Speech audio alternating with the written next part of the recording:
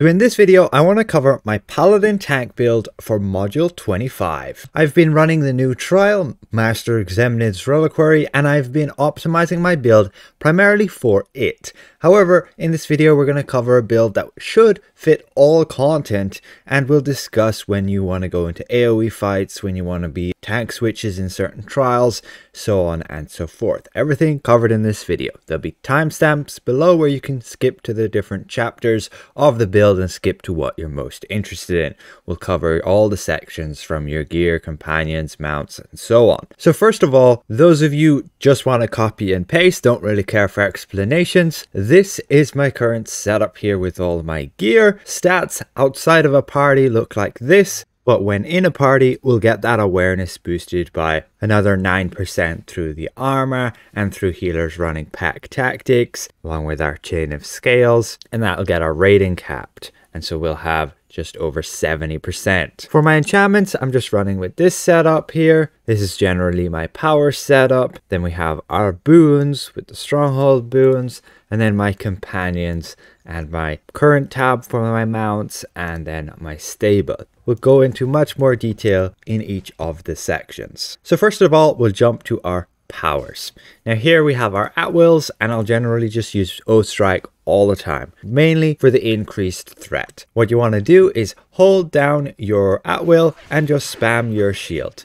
And by doing this, you are animation cancelling your Oath Strike, basically hitting more often and also regenerating action points quicker by blocking in combination with that. You can get your daily power within at least 20 seconds if you continually do that. You can use a keybind on PC and you can look my video up for that. Just be aware you could use Shielding Strike as your secondary at will whenever you have enough threat. You'll see that you have the threat of your target when you look at them and your little bubble up here above your name is red. And if everybody else's is like green or yellow, you're okay. If somebody turns to orange, you know they're just about to take the threat and you need to do something quick to make sure you have it back. As long as you have that threat, you could very well use Shielding Strike to regenerate your shield back quicker. For encounter powers, generally you'll be using Templar's Wrath everywhere.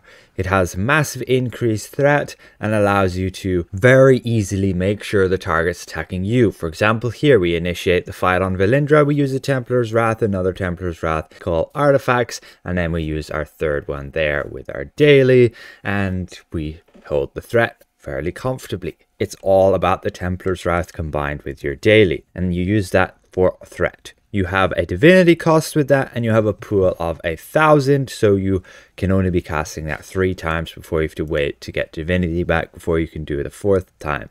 You can generally do it four times within like a few seconds because you'll generate divinity just by attacking as well. Then you need to use like Vow of Enmity for placing yourself on top of the threat list in case you die, and also if you're in a fight where you need to switch tank, so you're in a trial. And then we have Binding Oath for the stamina regen. If you're running it up against a bunch of ads, I recommend Burning Light. You can see I have it slotted here. And when I'm kiting together all these ads, I just group them up. And when you have them all grouped up, they're going to deal a lot of damage to you. So you can just stun them and they basically do nothing for like three seconds and it gives you a bit of breathing room. And you can do that when you're going against groups of ads in a dungeon and so on as well. And I would just go with this setup there for the dungeon. You could go with Relentless Avenger instead of Vow to close the gap between groups of enemies and get there quicker. And in general boss fights, it's Templars, Vow, and Binding Oath. And you can switch to like Absolution instead of Vow if you don't need uh, something to place you on top of the threat list and you just can go with some more survivability, like in a dungeon. Just be sure you aren't dying. If you are gonna die, then make sure you have Vow to get back on top of the threat list. For daily powers, Divine Judgment for threat, you'll use that at the beginning. Again, just like here, initiating the fight on Gzemnid, we go there, we use our Templars and other Templars. We want to be getting our daily power, but we'll get it for the artifact call. There you go. And then he's biting us, we use our daily, and the next time he hits us, we get a massive hit from the Manticore during the artifact call because of the helmet. Deals 50% of your hit points in damage affected by debuffs, and I've seen it hit for like 1.7 million. Multiplied by your increased threat modifier, and uh, yeah, it's a ton of effective damage. Otherwise, it's Shield of Faith just for team support. Gives them survivability, and with this feat, helps heal them as well. If you need your own extra survivability, you're running into content new or you're a bit insecure and aren't having like the most optimized build, run Divine Protector combined with Shield of the Gods. You kind of need a second loadout for that. A bit annoying, but it would give you a bunch of extra survivability, giving you the awareness and damage reduction. You can see that again here with the feat. You don't need to be tethered to an ally and you reduce the damage you take by 30% and increase your awareness by 30%. Not for very long, so you want to make sure you time it when you need it. Generally just go with this support setup though. For your mechanics, you have your block and you just be using that to block incoming attacks as much as possible and then regenerate that block back, basically healing it and just blocking more hits. And Binding Oath is your primary source of regenerating your block back. Your block is equal to 40% of your maximum hit points.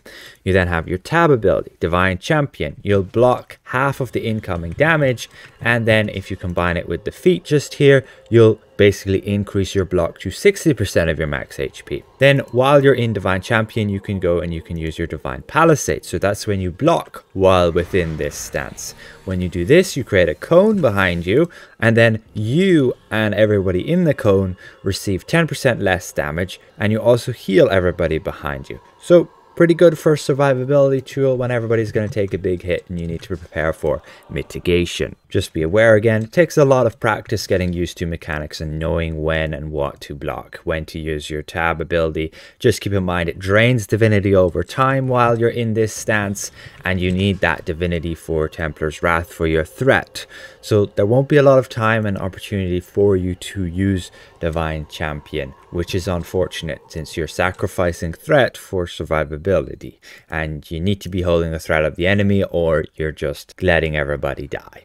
Features, we just run with Composure and Aura of Wrath. Aura of Wrath increases everybody's crit rate. I don't see any of the other options as all too useful. You shouldn't need the reduction to everybody's threat, especially in a trial. There's no point reducing your other teammates' tank's threat. Just give them all a bunch of crit strike and they'll be happy with that and composure to regenerate your divinity back a little bit quicker. There might be some time you'll have to use divine challenger combined with smite to have a bit more often your place at the top of the threat list powers. If you're going into Master Zariel and need to switch on the second phase between the demons, you don't want to have an AoE taunt and end up getting both the demons.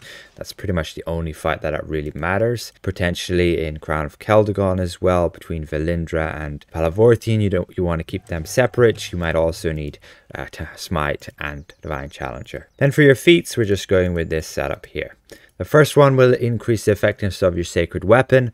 I don't really use it, so kind of pointless, but Sacred Weapon can be useful if you need a bit more threat, but I generally can be just better to have a place yourself on top of the threat list if you're suffering with threat anyway. And then Burning Vengeance to buff up your Burning Light. Whenever you use that in AoE fights, I don't really see Baneful Strikes as all too useful unless you're making some hybrid damage build, which your damage is going to suck, especially after the recent combat reworker a year ago kind of screwed us over. And then you have Divine Pursuit, to find it better to generate divinity than the top one. And then sheltering light again we mentioned it with the daily powers here. Sheltering light for team support shield of the gods for your own survivability. And the last feat absolutely undying champion. The top feat here intimidating presence doesn't seem to have much effect at all. It increases your threat by 30 percent but you already have this benefit here, increasing your threat by 900%, and then anything with increased threat here from your Oath Strike and your Templar's Wrath have another uh, 800% threat on that. So adding 30% is nothing and you won't notice it. So kind of pointless, you're better off with survivability, benefit here of increasing your shield to 60% and reducing the divinity drain. So we move to our statistics. As a tank, you want to be focusing on primarily damage reduction first. So anything that's going to give you damage reduction, like this Lich right here and the overload resiliency of the depths. Then you want to be focusing on your awareness, then your critical avoidance, then your defense, and then you want to look at your stamina regen, your incoming healing, and then like your maximum hit points. It can be a balance between either incoming healing or maximum hit points. Depends on your healer. If you're running with a paladin healer, it can give you shields. Basically, increasing your incoming healing makes it so that their shields are bigger on you, which can be better than just increasing your max hit points. And then you also want some action point gain. Just again, focus on if you're a newer tank getting those damage resistance sources that you possibly can, and then your awareness, critical avoidance, and defense. Yes, awareness won't be too beneficial when you're going against ads, but they're not as important as boss fights at all. You can generally crowd control ads and they do nothing, and then they're not going to hit you. So we move to our gear. And you can see what I'm running with.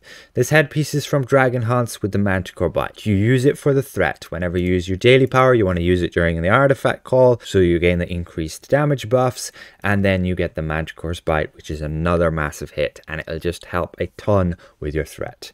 The armor here comes from the Sharandar store doing Voss, just gives you a bunch of awareness rating. When we're in a party, we gain another 6,000, and then we can gain some Mount Aura bonuses to get to the maximum of that 82,000. Then we have the arms here from Dragonhance. They work better than expected. You just need one ally 30 feet away from you and you gain the bonus power and defense. Then the weapons, we have the Feywood ones here. I would recommend just getting the cheaper alternatives as the mastered ones. There's no point going for the full Feywood. On the weapons, we have the modification of Oath Strike here and the secondary one, the action points and the enhanced critical avoidance. The boots are the rugged boots again from Dragonhance.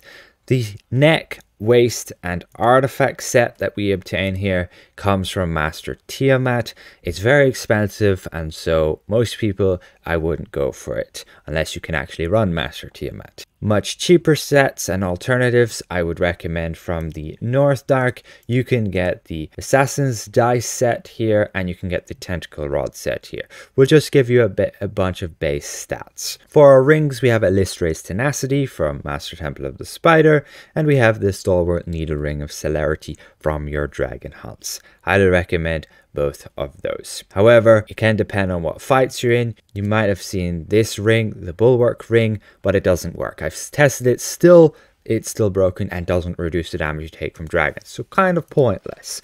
And otherwise, yes, this new trial, you might be wanting to take your Lolth's Pain damage reduction from Beholders. And I personally would just run with Eilistraee's Tenacity and Lolth's Pain for this new trial, just for the increased damage reduction. There's not much point having the Celerity ring here because you only need it for the ads at the very beginning. We will go over capped on defense a little bit with having Lolth's Pain, but you can adjust that yourself.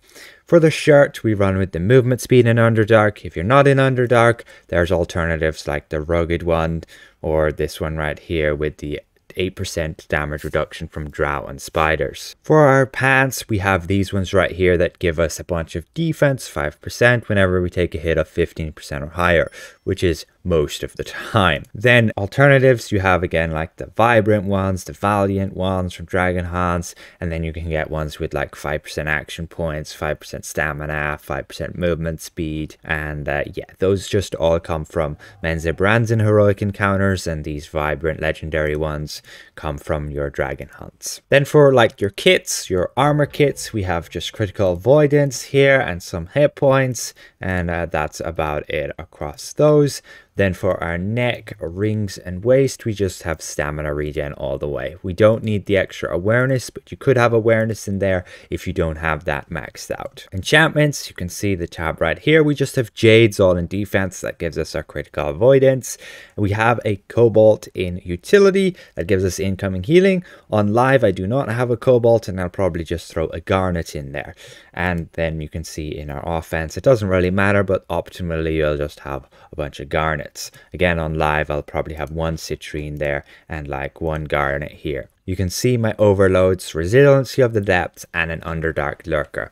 Again, the Underdark Lurker only in Underdark content, of course. Alternative to that is getting a Bulwark of Brimstone for the hit points, or a Unholy Protection for the stats. Combat enchantment, I'm running the Flash Freeze. I haven't found the other enchantments to be all too useful. Living Hex seems kind of pointless. I have not noticed its effect at all in the new trial. I ran a whole bunch with it. I ran with Fortified Nature. I ran with Flash Freeze and all between them I have not noticed any big difference. Fortified Nature is great, but only works if you take a damage over time effect that's going to proc every two seconds at minimum. So outside of that, it's kind of useless. For newer tanks, I would highly recommend a Soul Shield. You can even just run it on green. Just the benefit of instantly resurrecting you and healing you a bit is really helpful when you're going down in a fight. You can instantly get up, don't have to mess around with scrolling or something, and then go and taunt your enemy. And yeah, as a tank, if you are going down in a fight, you kind of do want to be scrolling instantly and getting the threat back of the enemy. Otherwise, that enemy is just going to go and kill all your teammates,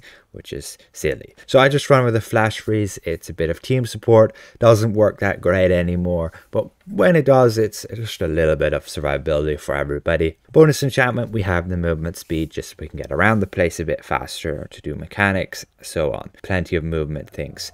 But you can run action points instead, and I would recommend it if you're in a fight where you know you're not really going to have to move. You can spam more dailies, which is better. For our artifacts, you can see we just have two secondaries here, and the sole purpose is to provide us the stamina regen. Alternatives you can run are listed just here. Of course, we have the artifact to complete our set, and then we have a primary artifact, which is going to be team support. So we have like the lantern here. And again, I would recommend one of these top 11 to have at least to also provide team support. You can see the bonus damage that they can provide there and the duration. And I've ranked them kind of here based on their benefits to the team. So now we move to our race and ability scores. There are a lot of viable options as a tank. You can run human, metallic ancestry, dragonborn, a dwarf, halfling, a tiefling, a drow, dragonborn, Aasimar, or Menzoberranzan and Renegade.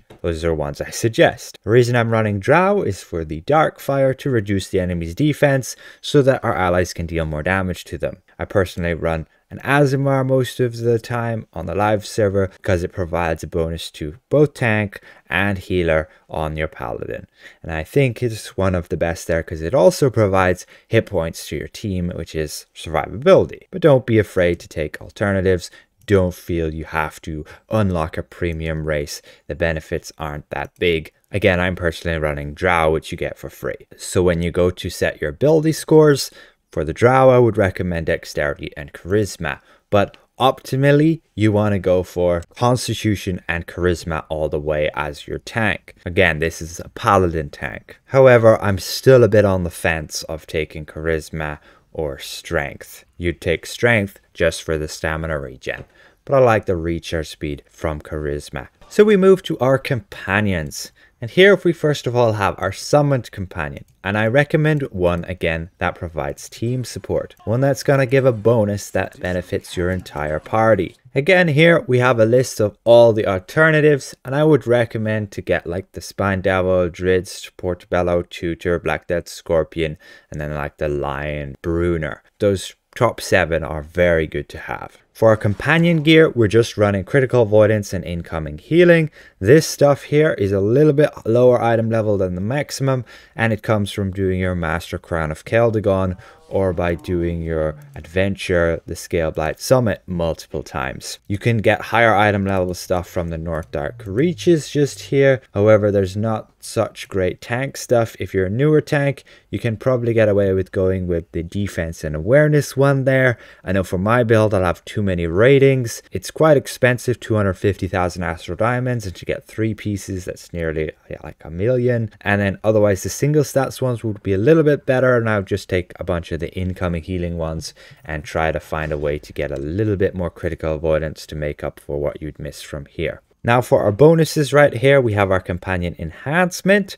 And here I would recommend again taking a team support one, one that's going to benefit the entire team. We're currently running armor break as it provides the most amount of damage to our team. Again, that's at 50% enemy defense. You can see the other bonuses there, and you could take weapon break. It'll give survivability to everybody against that enemy. So when they do certain mechanics, it's going to reduce their critical severity. As long as that boss can critically hit with those powers, you can reliably reduce that critical hit damage by reducing the crit severity. It's the only one right now that's going to provide survivability. The rest there are just going to provide damage to your team. The worst one being slowed reactions, which is dependent on how much accuracy people miss. Then for our equip bonuses, you can see what I'm running here. Again, there are alternatives, but I would highly recommend you take a tamed Velociraptor. And this gives the bonus power. Not really going to benefit you as the tank for survivability, but it benefits your healers and your DPS so that they can heal more and deal more damage. It's a massive power bonus, and you don't really want to be missing out on giving your team that. So we use that in our offense. The other options, I would highly recommend you get a Lich companion. I know it can be pretty expensive, but currently it's the best companion there. There are alternatives. And here again is a table. You can see them ranked there as well. Tamed Raptors there with a star. It's not going to help you, but it's going to help your teammates. The best is the Feral Raptor, but you would need again everybody to use it like the Tamed one. And uh, there's not much chance of that since the Feral is very exclusive and really expensive at the moment. The devs basically need to re-release it into the game. You can see the Lich there, the Deep Crow, the Myconid. Just don't, you don't need to copy exactly what I have as these can probably be pretty expensive. Just have a look for yourself and take what works and what fits. Just be aware of the slot types. We have a requirement of one offense, one defense, one utility, and then there are two universal slots. So again, don't be afraid to take ones further down the list. It's not bad at all. They're still all giving you bonuses to your tank. I have them all on the list here because they're all viable. So now we move to our mounts. And in our current tab here, you want to be having a combat power again, which is going to provide team support. You'll use it with your artifact every 60 seconds to give your party an additional damage boost. There are other survivability ones you could use. And again, here is my table. You can see them all ranked there as well. Eclipse, Lion, and Swarm are like the best. You want to have both those in like a dungeon. Your healer will have the other one and then you can see the rest of them listed and ranked there as well. You can see all their benefits. Then as your equip power, you want to have like Runic Aura or Mystic Aura or your new Pack Tactics. Pack Tactics comes from the Ebon Riding Lizard, Mystic Aura comes from your Myconid Bullet, and your Runic Aura comes from that Manticore, You can get them on the trade bar store. In our stable tab, you can see what we have here. 15 insignias, a bunch of fortitude and courage, and that is it. You see the bonuses, we have two Shepherd's Devotion and three Gladiator's Guile. Why? Gladiator's Guile for the movement speed and the stamina regen, Shepherd's Devotion to provide again movement speed to your team and yourself, and a defense bonus. So it'll help them with survivability, and I personally think there's no real need to go for the insignia bonuses that might, let's say, help heal you. You're going to have ones like Champion's Return, Oppressor's Reprieve, Survivor's Blessing, Knight's Rebuke. They're going to all help you heal you, and they're great. And I would recommend them when your healer is not that great or you don't even have a healer. There's the new one, Lionheart's Preservance as well. I just don't see them overly necessary. You can see a log right here champions return, just like 1% of the incoming healing, and oppressors reprieve, also only like 1% of our incoming healing. So they really don't contribute much at all when running with an actual healer. If you want to min-max, you can get the red dragon wings from the Zen store and get Shepherd's Devotion on there to have a fourth insignia slot, and that just gives you a little bit more stats and item level. You can see the collars right here. Your main focus is to get the stamina gain one, the incoming healing, and the action point gain. Then you can also get the encounter power damage for threat, and then whatever for practical. I would recommend the rough astral diamonds. So now we move to our boons. In our stronghold tab here, we take our power, our awareness. We can switch the awareness to like incoming healing or hit points when we get a bunch more pack tactics from like our healers and such, that might give us too much awareness and we would have the ability to switch it. In our campaign boons, you just want to be taking all the defensive ones here, along with some hit points, along with the damage and damage resistance against enemy types, movement speed, and then also lingering medicine. It's very good for healing you for like 5% of your maximum hit points over 30 seconds. Like every tick is 5% of your max HP heals a lot. In tier 5, you want to be taking like incoming healing and action point gain. You can switch to like stamina regen and forte depending on your build and your stats. Master boon, there's not really any great ones. You can go with your focused retaliation, it'll give you a bunch more deflect every now and again, not very reliable.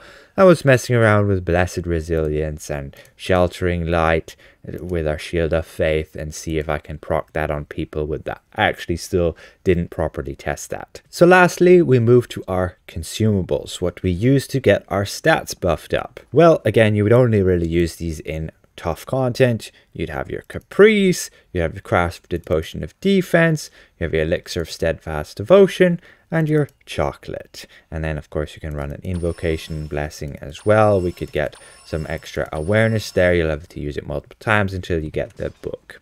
Again, our awareness will be capped out when in a party. And then we also have on our belt item a stone of health, of course, we have the Dragon Fire, which is actually very useful for threat. It deals a ton of damage. You can see it right here. It's the most damage we dealt. Followed by the Manticore, which is just the helmet. So we deal a lot of damage just from some items and from, from bonuses then compared to our powers. And then lastly, the Chain of Scales. You can look up my video how to get this and how to get it upgraded. But it gives us the awareness, which is very nice. For that food, you'll get Caprice from, yeah, doing your summer festival, I would actually recommend to take moon cakes instead. It comes from your Feast of Lanterns. It's bound when you obtained it, so you won't be finding it on the auction house, or your fizzy brew. 10% movement speed and awareness, but that's very expensive and not obtainable anymore. This potion comes from crafting, you can get it off the auction house. This elixir comes from your Vault of Piety, and the chocolate comes from your Guild Stronghold. That is about it for my build. In conclusion, it works very well. You are going to suffer a bit with survivability compared to a fighter, because you have to balance a lot more between your survivability and your threat. You're basically, again, using your divinity for threat instead of survivability. So can be pretty annoying right there. I might look into switching the headpiece over to the new one that would give us extra 20% divinity regen see how effective that is on a tank. But I would have to make sure I switch one of my rings over to a Manticore Bite ring. So you would have like your Tanner's ring. So you have like your Tanner's leather ring. There's a epic version of this you can get very cheap. And it'll uh, basically have the exact same Manticore's Bite bonus. We'll see. I'll probably still keep optimizing and messing around with things. But as of now, this is my build and it works very well. My team has had a lot of mix between different players and we still actually haven't beaten it. But we're getting there and it's doing pretty good. I have hopes we can get through this trial very soon. But you definitely need a very good optimized build to be able to tank this properly. At least if you're going to be making mistakes and your healers might not be on the ball either. So again, hopefully this helps and we'll see you guys around. Goodbye for now.